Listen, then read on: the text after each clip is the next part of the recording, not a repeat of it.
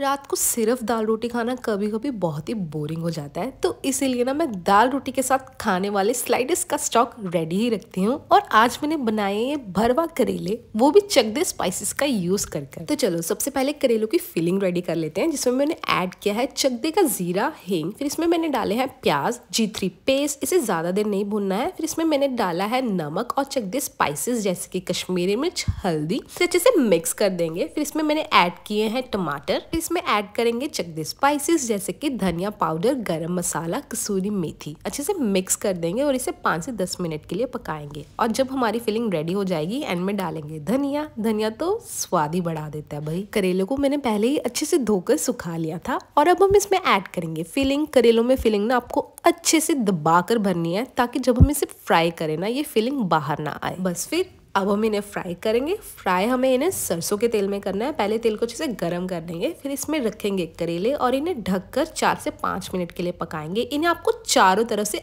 अच्छे से पका लेना है एंड दैट्स इट योर भरवा करेला इज रेडी